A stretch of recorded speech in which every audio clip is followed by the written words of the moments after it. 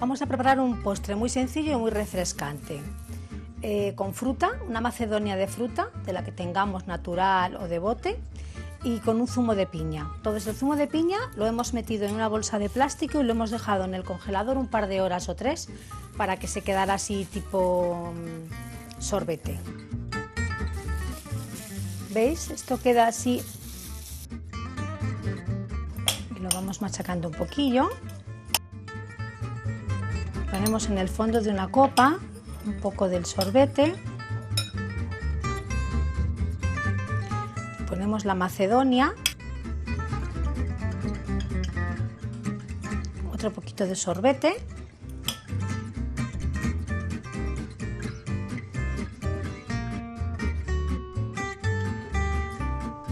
Un toque de ron, si queremos.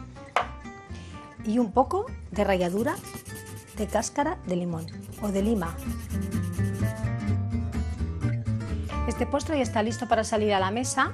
Es mejor tomarlo rápido para que el sorbete no se deshaga y además podéis variarlo con todos los sabores que os gusten. Podéis eh, congelar eh, zumo de piña, de melocotón, de lo que queráis y, y también podéis cambiar las frutas según os apetezca.